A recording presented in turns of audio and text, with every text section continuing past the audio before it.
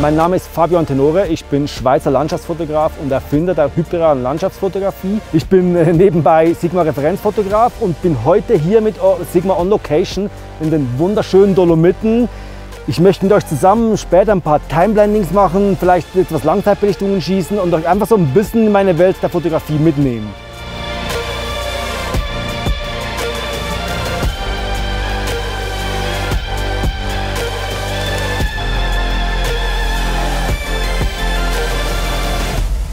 Dolomiten ist eines der geilsten Plätze, in denen ich je war. Ich finde hier einfach so die ganzen schroffen Felsen und sowas, sowas gibt es praktisch nirgends auf der Welt. Das ist einfach eine unglaubliche Umgebung und wir sind hier heute, weil ich den Spot extrem mag. Ich war schon zehnmal sicher hier und jedes Mal gab es einfach unglaubliche Bilder. Wir können hier auch, wenn alles gut läuft, die Milchstraße schießen, die eigentlich genau hinter den drei Zinnen sein wird. Wir haben wahrscheinlich ein bisschen Wasser, wenn alles gut läuft. Auch das können wir nicht planen. Nahaufnahmen mit den drei Zinnen über Spiegelungen, über Wasser, das rausläuft. Vielleicht finden wir noch ein paar Bergblumen oder was. Das ist einfach, wie gesagt, das Disneyland für Fotografen hier.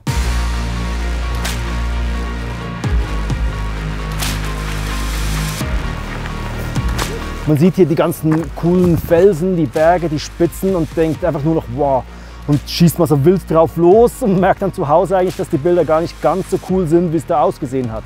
Liegt meines Erachtens daran, dass wir halt mehr Emotionen mit den Bildern verbinden. Wenn du was geschossen hast, dann warst du da, du hast die ganze Szenerie vor Augen gehabt und das Bild gibt es dann nicht mehr ganz so wieder. Was für uns jetzt bedeutet, wir werden da ein bisschen runtergehen. Da unten sind zwei so Schmelzwasserseen, wobei eigentlich sind es eh mehr Tümpel äh, jetzt in der Jahreszeit und versuchen uns da eine schöne Komposition zu finden.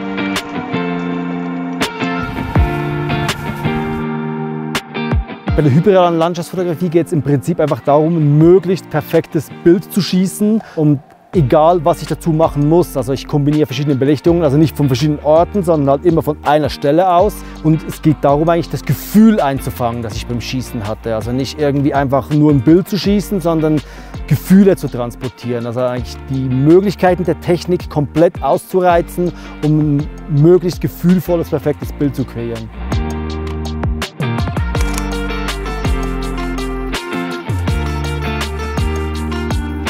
Je weiter wir im Telebereich sind, desto größer wird alles, was weiter weg ist. Wenn ich jetzt hier mit 14 mm arbeiten würde, dann hätte ich den ganzen Hintergrund so weit hinten, also die Berge wären so klein im Bild, dass sie gar nicht mehr wirklich auffallen. Dann habe ich jetzt hier das 35 mm genommen und mir das Bild so ein bisschen zusammengestaucht, damit die Berge einfach größer, mächtiger wirken.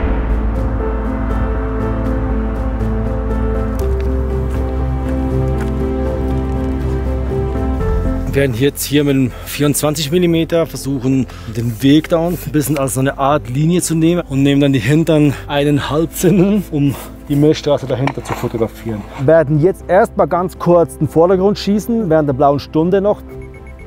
Neuner Blende, Komposition so aufgebaut, dass alles weit weg ist. Hoffentlich Leading Line in Richtung Milchstraße. Dann warten wir jetzt eigentlich nur noch, bis die Milchstraße kommt, weil Vordergrund haben wir jetzt geschossen. Scharfstellen im Dunkeln ist nicht immer ganz einfach. Das Ding ist, wir haben eigentlich keinen Anhaltspunkt oder nichts, das wir nehmen können, um scharf zu stellen. Das heißt, der Autofokus funktioniert überhaupt nicht. Was wir jetzt eigentlich machen müssen, wir schalten die Linse auf äh, manuellen Fokus. Ich habe hier eigentlich einfach auf äh, volle Vergrößerung gedrückt, habe dann reingezoomt. Mein Ziel ist jetzt eigentlich, zwei, dreimal immer da hin und her zu drehen, bis der Stern so klein wie möglich ist. Wenn er so klein wie möglich ist, dann ist er scharf. Blende habe ich ganz offen. ISO schaue ich zwischen 5 und 10 10.000, was am besten geht. Und das gleiche mache ich auch mit der Zeit. Laut Rechnung wäre ich irgendwo bei 8 Sekunden im Optimum. Ich sagen, dann schießen wir mal ganz kurz ein Bild und schauen uns an, was genau passiert.